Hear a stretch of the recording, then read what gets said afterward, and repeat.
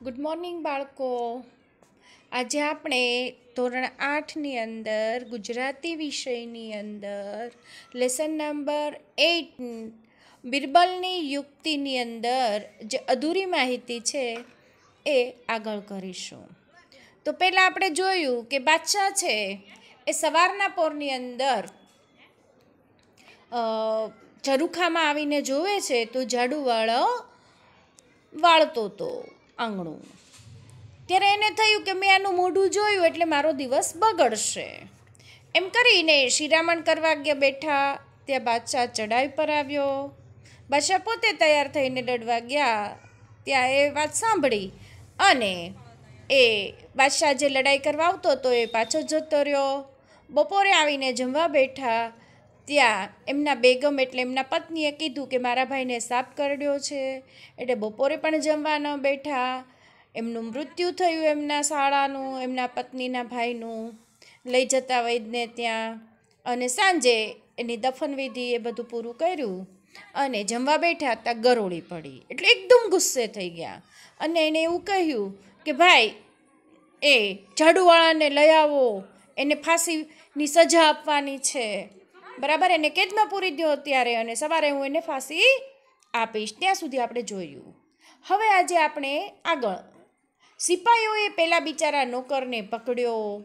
રસ્તામાં એની પાછળ એની પત્ની, છોકરા અને સગાવાલા તથા નાતીલા રો કકળ કરતા ચાલતા હતા. ભાઈ રાજાનો હુકમ થયો. એટલે સિપાહીઓ ગયા. પહેલાં બિચારાને લઈ આવ્યા. હવે એની પાછળ પાછળ બધા એના સગા સંબંધી પત્ની બાળકો બધા રડતા રડતા પાછળ આવે છે. વચમાં બિરબલનું ઘર આવતું આવ્યું. એ આવતા હતા રાજાને દરબાર સુધી જ્યાં પેલા નોકરને લઈ ગયા હતા ત્યાં રસ્તામાં બિરબલનું ઘર આવ્યું. રોકકળનો અવાજ સાંભળી બિરબલ બહાર આવ્યા અને એમણે પૂછપછ અ, પૂ- અ, પૂછપરછ કરી અને બધી હકીકત જાણી લીધી કે ભાઈ તમે શું કામ રડો છો? શું કારણ છે? એ પૂછ્યું એટલે એમને ખબર પડી. એને પહેલાં કમનસીબ માણસને બાજુએ બોલાવી કાનમાં ધીમેકથી કંઈક કહ્યું. બિરબલની વાત સમજી લઈ અને ઝાડુવાળો સિપાઈઓ સાથે આગળ ચાલ્યો. એને લઈને જતા હતા ત્યારે એમના પત્ની અને બધા રડતા હતા એનો અવાજ સાંભળી બિરબલ બહાર આવ્યા અને એણે પેલા ઝાડુવાળાની પાસેથી વાત સાંભળી અને એને કાનમાં કંઈક કહ્યું. અને બરાબર બિરબલની વાત સમજી પહેલાં જાડુવાળાએ અને એ સિપાઈ સાથે ચાલ્યો. બીજી સવારે એને ફાંસી દેવા માટે માચડા પર ચઢાવવામાં આવ્યો, ફાંસીના માચડા પર. તે વેળાએ એને છેલ્લી ઈચ્છા શી છે તે પૂછવામાં આવ્યું. કહેવાય છે કે ફાંસીની સજા દેવાય ત્યારે એ માણસને પૂછવામાં આવે કે તારી ઈચ્છા કઈ છે એમ. એમ ઝાડુવાળાને પણ પૂછવામાં આવ્યું. એ બોલ્યો, મારી છેલ્લી ઈચ્છા બાદશાહ સલામતના દર્શન કરવાની છે. મારે તો બાદશાહના દર્શન કરવા છે માટે એને અહીંયા હાજર કરવાના એમ. એની છેલ્લી ઈચ્છા પૂરી કરવા એને બાદશાહ પાસે લઈ જવામાં આવ્યો કે ભાઈ બાદશાહના દર્શન કરી લે, ચાલ. બિરબલ તે સમયે બાદશાહની પાસે જ ઊભા હતા. બાદશાહે કહ્યું, અલ્યા, તારું અપશુકન્યાળ મો મેં ગઈકાલે સવારે જોયું, એટલે મારો આખો દિવસ બગડ્યો. મારે આખા દાડો ભૂખ્યા રહેવું પડ્યું. એટલે જ તને ફાંસીની સજા કરી છે. ને મળવા ગયા ત્યારે એને કહી દીધું કે, ભાઈ, તારું મોઢું જોયું, મને આખો દિવસ જમવા ન મળ્યું, એટલા માટે હું તને ફાંસીની સજા આપી રહ્યો છું. નોકરે કહ્યું, આપે કરેલી સજા માટે તો મારે કશું જ કહેવાનું નથી. ભાઈ, તમે જે મને સજા કરી, એમાં હું શું કહી શકું? તો એક નોકર છું એમ. પણ ગઈકાલે સવારે જેમ આપે મારું મોઢું જોયું હતું, તેમ મેં આપનું મોઢું જોયું હતું. સવારમાં હું તો મારું કામ કરવા જ આવ્યો હતો. જેમ તમે મારું પહેલું મોઢું જોયું, એમ મેં પણ તમારું પહેલી જ વાર મોઢું જોયું હતું. બીજા કોઈનું મોઢું પહેલાં જોયું ન હતું. તેથી મારે તો કેદખાને જવું, જવાનું કેતખાને પડવાનું થયું અને આજે ફાંસીએ ચડવાનું થયું. કાલે મેં તમારું મોઢું જોયું એટલે રાત્રે મને કેદખાનામાં પૂરવામાં આવ્યો. અને બીજી સવારે મને ફાંસીએ ચડવાનો વારો આવ્યો. તો આપ જ ન્યાય કરો કે આપણા બેમાં વધારે અપશુકન્યાળ કોણ? તમારું મોઢું જોયું એટલે મારે કેદખાનામાં જવું પડ્યું અને ફાંસીએ ચડવું પડ્યું. ને તમે મારું મોઢું જોયું તો જમવા જ ન મળ્યું. તો બંનેમાં કોણ વધુ અપશુકન્યાળ એમ? અને જો ન્યાયાધીશ મને ફાંસીની સજા કરશે, તો આપને એ કઈ સજા કરશે? બરાબર છે, મારું મોઢું જોવાથી તમને આ આ દુઃખ થયું, તો તમે મને ફાંસી આપી. પણ મેં તમારું મોઢું જોયું અને મારી આ દશા થઈ, તો તમને કઈ સજામાં આવશે?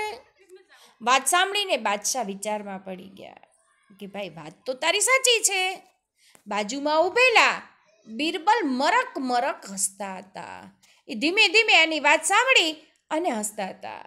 એ જોઈ બાદશાહ બોલ્યા, બિરબલ, આને આ જવાબ શીખવનાર તારા સિવાય બીજો કોઈ ન હોય એમ.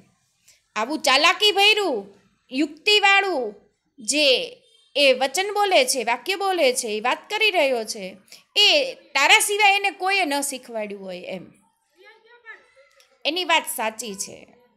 બાદશાહ છે, એ સમજુ છે. ન્યાયી છે એટલે એ પોતાની ભૂલ છે એ એક્સેપ્ટ કરે છે. સ્વીકારે છે કે ભાઈ ના, તારી વાત સાચી છે એમ. શુકન અપશુકનનો ખોટો વેમ રાખીને એ બિચારાને હું અન્યાય કરી બેસત કે મારા મનમાં એવા ખોટા વહેમ હતો જે અંધશ્રદ્ધા હતી અપશુકન્યા શુકન અપશુકન એ બધું હોવું ન જોઈએ જીવનની અંદર એમ. એટલે કે જો મને આણે સમજ ન આપી હોત, તો હું ખોટું અન્યાય કરી બેસે તેમ. જે થયું તે સારું થયું. એને છોડી દ્યો અને સરપાવ આપી માનભેર ઘેર પહોંચાડી દ્યો. સરપાવ એટલે ઇનામ, કે હવે એને કેદખાનામાં તમે પકડ્યો છે, એને ફાંસીની સજા આપવાની છે, તો હવે એને આપવાની નથી. મને સાચી વાતની સમજ અપાવી એણે. જીવનમાં વહેમ જેવું કંઈ રાખવું જોઈએ નહીં. એટલે મારી જે કંઈ ભૂલ થઈ છે, એને હું સ્વીકારું છું અને એને જે કાંઈ મેં અન્યાય કર્યો છે, બરાબર, એને માફ કરી દઉં છું. સરપાવ એટલે હું એને ઇનામ આપી અને એના ઘરે ઇજ્જત સાથે માનભેર એટલે પહોંચાડો એમ.